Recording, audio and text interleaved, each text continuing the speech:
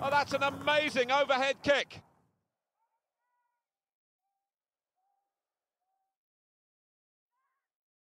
A goal for Messi. And what about the agility here? Overhead kick to beat the keeper. Superb.